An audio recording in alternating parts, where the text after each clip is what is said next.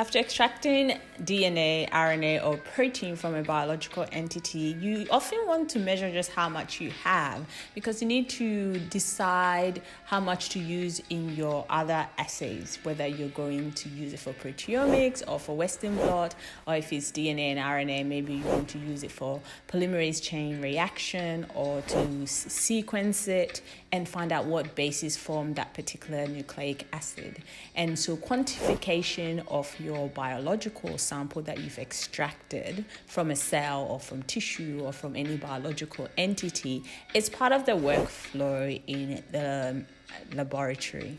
There are two common optical based technologies that can be used to quantify uh, nucleic acids. So, nucleic acids, we always refer to DNA or RNA. For example, using a spectrophotometer, you can select a specific wavelength where most proteins will have a residue that absorbs at that wavelength. So if you for proteins you select a 280 nanometers for instance, you will have the capability to measure how much protein you have because most proteins contain the amino acid residue tryptophan, which absorbs at 280 nanometers. So it can be a surrogate for how much protein you have. For nucleic acids, absorbance at 260 nanometers, if you're using a spectrophotometer with no dyes added to your sample, is a great place to start because most nucleic acids will absorb at they absorb within a range, but 260 nanometers is a good indicator of how much nucleic acids are in the sample. Absorbance just based on wavelength, specific wavelength absorption is usually not that accurate because you can have interfering compounds that also absorb at that wavelength, and so you can inflate how much you actually have, or you may have contaminants that interfere with how much is actually in there. And so the alternative is often to use uh, a fluorescence based measurement. In fluorescence based measurement, you use a dye that attaches to the biological molecule. So, if we're talking about DNA, a specific dye for DNA will be added to the sample, or if we're talking about RNA, then a specific dye for RNA will be added to the sample, or if protein. Likewise, a specific dye for protein will be added to the sample. And in so doing, you're moving away from, in, from indiscriminate measuring to specific measuring because now you're going to, the dye will attach itself to the particular biological molecule that you're measuring, and then you're going to measure the fluorescence signal from that dye as an indirect way of specifically measuring how much of the biological molecule you have. The qubit is one such so called fluorometer in the sense that you're using a fluorescence molecule and so it measures fluorescence readout for you. And to use it, here are the steps you follow.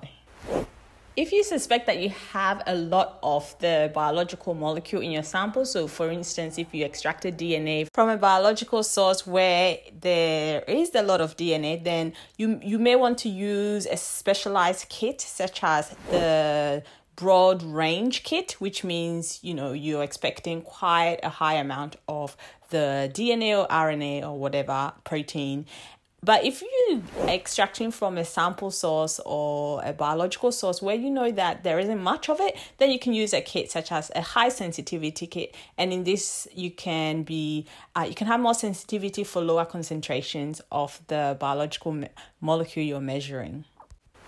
So using the qubit, the fluorometer, you can get qubit double stranded DNA high sensitivity assays, or you can get the double stranded DNA broad range assay. You may also be measuring a single uh, single stranded DNA system, so then you can get the single stranded DNA assay. If you have RNA, you can get specific RNA assay, and if you have a lot of RNA, you can get the RNA broad range assay, and they also have a protein assay. Step one is to dilute the fluorescent dye that the supplier gives to you. The fluorescent dye is 200 times concentrated and you want to dilute it so that it's at one times for the actual measurement. And so to do this, you put one part of the dye to 199 parts of the diluent that they provide. So let's say, for example, if you're going to make 400 microliters total for the number of samples that you have, then you're going to put 200 microliters of the dye into 398 microliters of the diluent.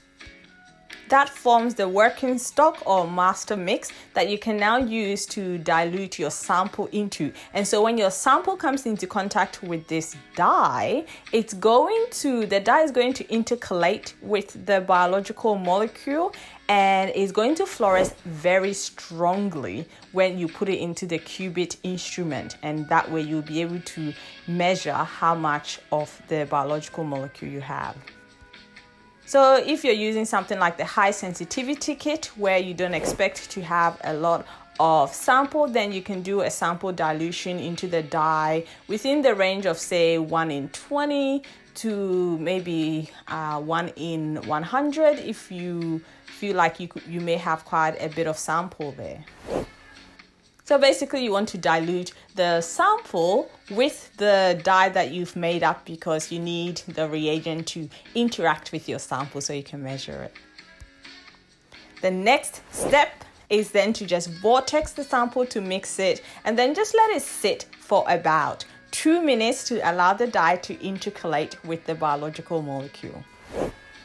Now you are ready to read the assay to get the readout. Very simple. But just when you go to the instrument, you're going to need to select the assay type that you are using, whether you're doing a DNA double-stranded assay or you're doing a single-stranded DNA or maybe you're doing RNA or protein. Just be specific and select that. Then you're going to place the tube that they supply you with, actually the tube that contains your sample and you're going to close the lid of the instrument then you're going to hit read to get your readout. And because the instrument is already programmed to factor in that you would have done a dilution, it will ask you how much of your sample you placed into the dye. And so the readout is actually your final concentration.